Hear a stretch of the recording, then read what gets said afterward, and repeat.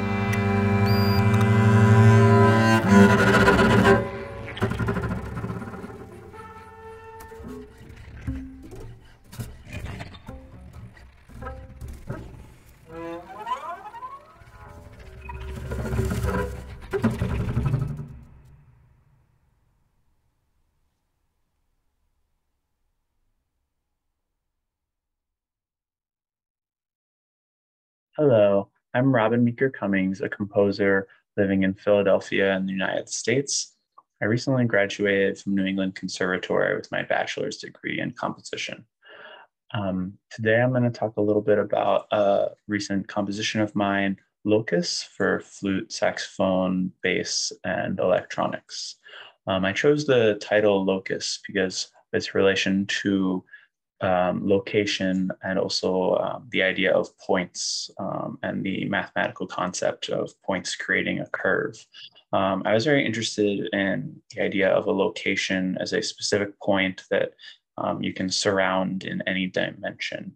Um, and I related this to uh, many musical parameters. One thing I was thinking about a lot was the difference between noise and pitch and if these are two locations and um, if you are above it or below it what was that what will that do um, one of the things I do in this piece is I detune the lowest string on the bass. So when you bow the string, um, instead of hearing a pitch, you hear the, the flapping of the string on the fingerboard. Um, and there's this very as the as you start to bow harder, the sort of point of contact starts to increase. Um, another idea of this locus that I'm fascinated with. Thanks. Enjoy.